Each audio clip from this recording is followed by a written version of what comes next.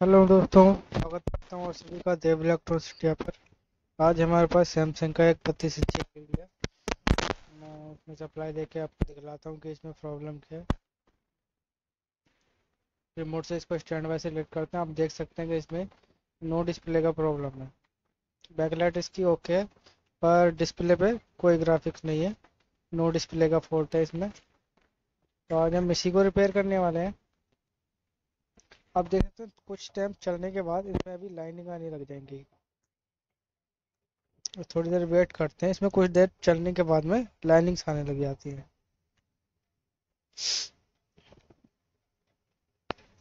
देख सकते हैं आप लोग, इसमें लाइनिंग आने लग गई है अब। तो ये पूरे डिस्प्ले पे आ जाती है धीरे धीरे तो चलिए वीडियो को शुरू करते हैं। और हम बिना कुछ टाइम गवाए इसका जो मेन प्रॉब्लम है, उस पर बात करेंगे सीधा सीधा आ जाते हैं इसके स्केलर पे।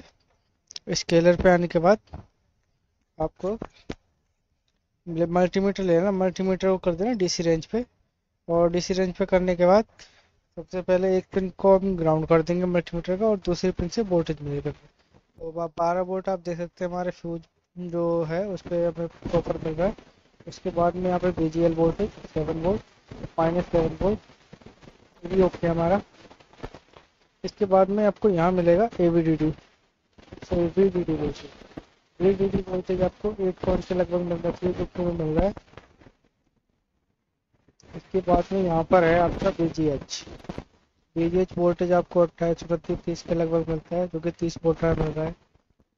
इसके बाद आपको यहाँ पे मिलेगा A V D D voltage fifteen to seventy volt एकदम ओके है इसके बाद यहाँ पे आपको थ्री पॉइंट थ्री वोल्ट ये भी ओके है हमारा। तो मेन प्रॉब्लम जो है हमारा सी के वी का फोल्ट है। वोल्टेज हमारी सारी ओके बन रही है। हमें इसका सी के वी जो है, वो कट करेंगे। देख आप लोग, सारी वोल्टेज हमारे पास ओके बन रही है। तो चलिए, सबसे पहले इसके मैं सी के वी लाइन दिखला दूँ आपको। इसके सीके भी जो लाइन है, दोनों साइडों में होती है तो आप किसी भी एक साइड से कट कर देंगे, आपका पैनल ओके हो जाएगा। अगर एक साइड से कट करके बात ना बने तो आप दूसरी साइड के प्रिंट को कट कर सकते हैं सीके भी प्रिंट्स जो है, लेकिन आपको पिछले वाले जो सीके भी प्रिंट जो आपने काटे होंगे उन्हें वापस से जोड़ना पड़ेगा। तो हम इसके लेफ़्ट साइड की जो सीके भी लाइन है, वो कट करेंगे। और उसके बाद देखेंगे हमारा प्रॉब्लम जो है वो सॉल्व हुआ कि नहीं। तो देखते हम लेफ़्ट साइड की ये साइड के सारे प्रिंट कट करने वाले हैं। अगर पिक्चर में हमें कोई फॉल्ट दिखेगा किसी के लाइनिंग वगैरह या फिर कोई नेगेटिव पिक्चर वगैरह तो हम यहाँ से वापस भी क्लिक करके इसको ट्रेक जो है वो जोड़ के और अपने इस प्रॉब्लम को फाइंड आउट कर लेंगे। सबसे पहले यहाँ से आपने कट कर देना है। जो सारी सारी लाइन एक साथ कट कर देंगे आपको एकदम सफ़ाई के साथ। जूम करके आपको दिखला भी होंगे तो। आप लोग यहाँ पे हमने सारी लाइन के लाइन कट कर दिए।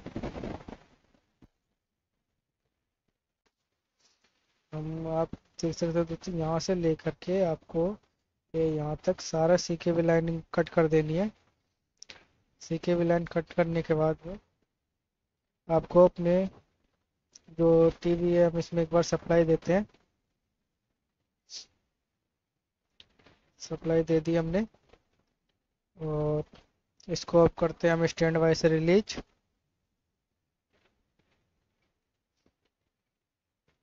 तो देख सकते हैं आप लोग, हमारा जो टीवी था, बिल्कुल ओके हो चुका है।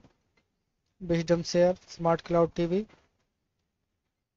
एकदम ओके हमारा टीवी हो चुका है, इसमें कोई नेगेटिव पिक्चर वगैरह कुछ नहीं बन रही। देखते यहाँ पे साइड में एक एक सिंबल सिंगल वो बार आ रही है। एक सिंगल लाइन है, इधर कोने पे भी है। ये अंदर क्रिस्टल जल जाने के कारण आ जाते हैं। तो इनका अभी हम यहाँ पे कुछ भी नहीं कर सकते। ये आपको कॉम्पाउंडिंग मशीन पर ले जाना पड़ेगा, वहीं जाके होगा रिपेयर तो आप देख सकते हैं, वैसे हमारा एकदम टीवी ओके हो चुका है। नेगेटिव पिक्चर भी कुछ नहीं है, ना कोई लाइनिंग है। और हमारा टीवी भी एकदम परफेक्ट वर्क कर रहा है। कोई फ्रेजिंग वगैरह का भी प्रॉब्लम नहीं है। तो चलिए दोस्तों, मिलते हैं नेक्स्ट वीडियो में। Thanks for watching